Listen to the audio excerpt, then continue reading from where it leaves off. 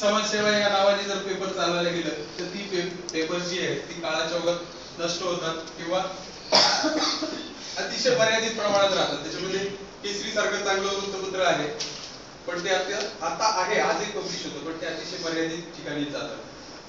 कारण त्यांनी नफा या अँगलनी त्याच्याकडे कधीच बघितलं नाही. आता ते त्यांचं मोठे पण होतं त्यावेळेस.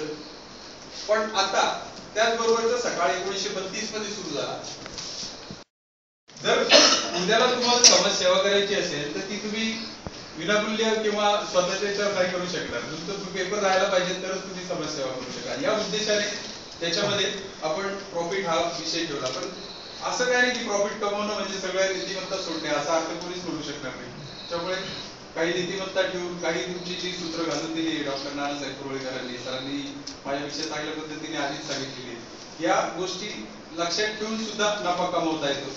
आणि ते नानासाहेब ते दाखवल्यामुळे सकाळ आजपर्यंत आले तर नफा नफ्यापेक्षा सेवेला समाजसेवेला समाजाच्या उन्नतीला आपण ज्या गावात राहतो त्या गावाचे जे विकासाचे प्रश्न